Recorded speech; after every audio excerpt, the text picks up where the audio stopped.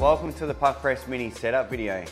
In this video I'm going to show you how to set your lower clamp to get the best out of your Puqpress Mini.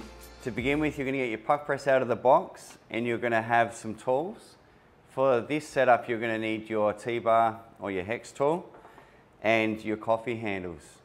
If you've got a machine with multiple groups you'll need to select all of your handles and in this instance for the setup your handles will need to be hot because metal expands and so with the hotter handle, you're gonna get a better fitment.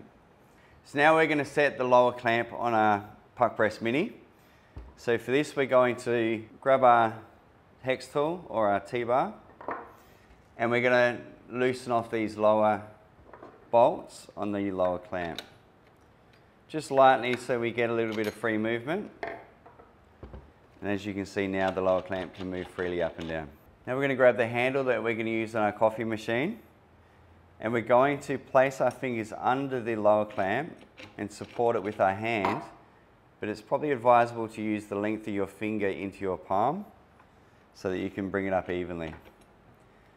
Grab your handle, place it in to the upper clamp, lifting the lower clamp so you get a nice positive connection but not too tight. So once we have a positive connection with the lower clamp, our portafilter and the upper clamp, remember not too firm, we're going to slide our portafilter handle off to the side slightly and get our T-bar tool and proceed to tighten up the fasteners. We're going to check that we've got a nice smooth action to go in and out with the Puqpress. At this point, we can now connect our Puqpress to power. So we can grab our cord which we've plugged in and we're going to place the plug into the receptacle at the back and turn it on. So once we're happy with our Puqpress setup, what you'll notice is your handle will go in smoothly.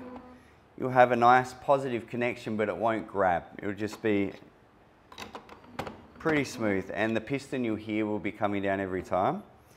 If the lower clamp is too low, the Puqpress actually has inbuilt safety sensors so that when the handle connects at the top, it allows the piston to come down. If this isn't set properly, you won't actually be able to tamp your coffee. So to get a correct fit for your Puqpress, ensure that your lower clamp is in the correct position to get a positive contact with your, puck, with your portafilter handle at the top of the upper clamp. If you've done all these steps correctly, adjusting your lower clamp to the correct height, your Puqpress will work perfectly every time. Thanks for watching.